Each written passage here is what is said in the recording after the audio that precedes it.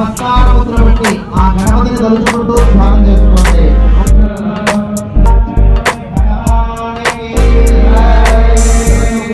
చేసుకోండి